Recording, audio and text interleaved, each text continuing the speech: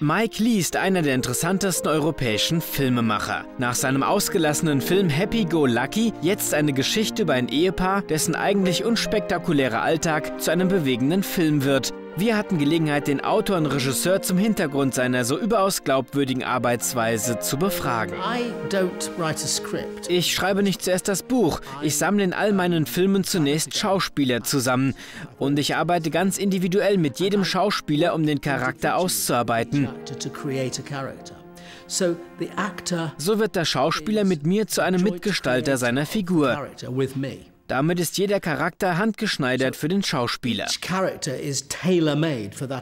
Aber hey, Willst du in diesem Jahr noch etwas in deinem Garten machen? Oh, Jerry, erinnere mich nicht daran. Ich habe ein ganz schlechtes Gewissen deswegen. Ich habe ihn wirklich vernachlässigt, was? Ja, das hast du. Oh, aber gestern.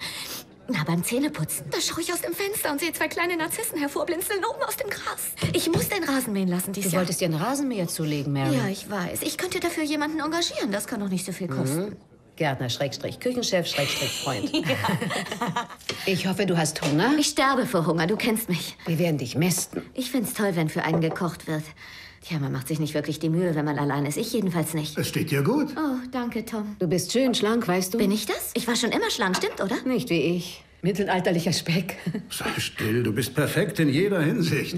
Das weißt du auch. Das britische Kino hat seit jeher den genaueren Blick auf die sogenannten einfachen Leute. Was ist sein Geheimnis? Die Frage wurde schon öfter gestellt, hier in Berlin oder zum Beispiel auch in Paris. Die Frage meint auch, warum könnt ihr das in England und warum können wir das nicht? Darauf habe ich keine Antwort und ich bin auch nicht wirklich sicher, dass ihr es nicht könnt. Da gibt es in der englischen Kultur eine lange Tradition, auf die wirklichen Menschen, die arbeitenden und armen Leute zu schauen. Es geht einfach darum, eine Filmkamera zu nehmen, auf die Straße zu gehen und die Luft dort zu atmen. The real air. For me, that's what filmmaking is about, really. Es ist der Ablauf eines Jahres, in dem ein nahezu perfektes Paar, Tom und Gary, sich um seine weniger glücklichen Freunde kümmert. Der ruhige Fluss der Jahreszeiten und die kleinen und größeren Misshelligkeiten. Ein Film über das Glück, das Unglück und die eigene Verantwortung. Und gelassen wie der Jahreslauf vergeht die Zeit, die uns immer mehr hineinzieht in diesen wunderschönen Film.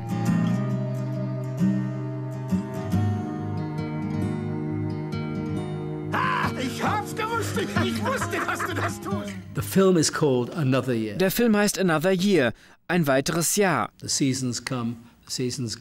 Die Jahreszeiten kommen und gehen. Jedes Jahr folgt dem vorhergehenden Jahr, geht dem nächsten voraus. Das Leben geht weiter. Wir werden älter.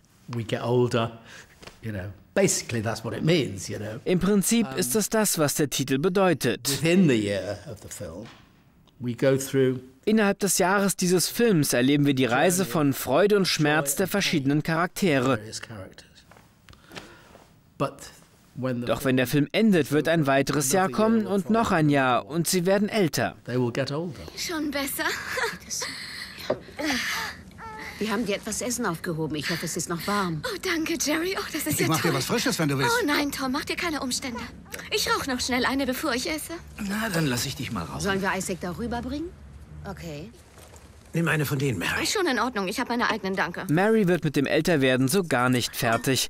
Und in ihrer halsstarrigen Jugendlichkeit danke. übersieht sie vorsätzlich die schüchternen Annäherungsversuche eines anderen einsamen Menschen.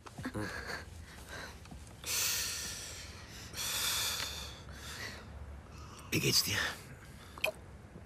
Ja, mir, mir geht's sehr gut. Danke, Ken. Immer noch allein? Ja, das bin ich und es gefällt mir auch so.